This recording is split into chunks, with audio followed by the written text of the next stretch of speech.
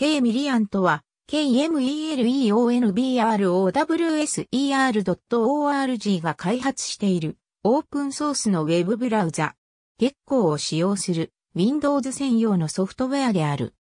ズルの代わりに Windows で提供されている API を使用してインターフェースを構築しているため、同じ月光を使用する文字ら Firefox に比べ動作が軽快であり、またユーザーインターフェースが Windows Explorer によく似た作りとなっている。MacOS のカミーノや GNOME のギャリアンなどと同様に対応環境を特化して軽量化するタイプのブラウザである。欧州向けに提供される Windows のブラウザ選択画面にも採用されている。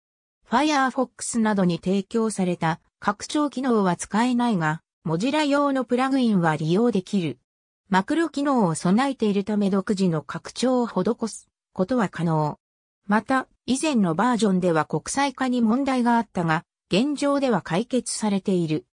IE コンポーネントブラウザのように、標準機能で操作性の向上を目指した設計となっており、JavaScript やフラッシュの有効、無効やユーザーエージェントなどをメニュー項目から簡単に変更することができる。この他セッション保存やマイムタイプの切り替えなど、Firefox と同等の機能が提供されている。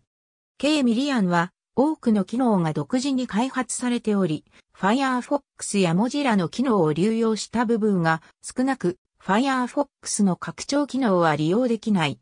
しかし、拡張性の高いインターフェースを採用しており、すべてのメニューとツールバーボタンは設定ファイルの編集を行えばカスタマイズ可能である。